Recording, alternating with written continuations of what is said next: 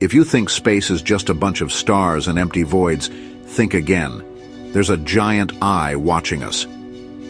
600 light-years away lies the Helix Nebula, often called the Eye of God for its eerie, glowing resemblance to a giant cosmic eye staring back at us.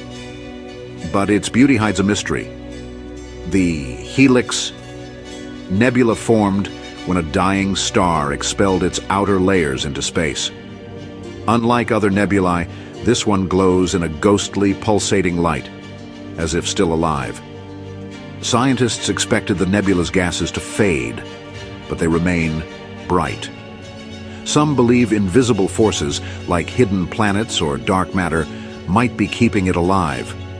Could this unusual structure and infrared glow be an ancient signal from an advanced civilization? A message written in the stars. Despite decades of study, the Helix Nebula's strange glow remains unexplained. A final message from a dying star, or something more?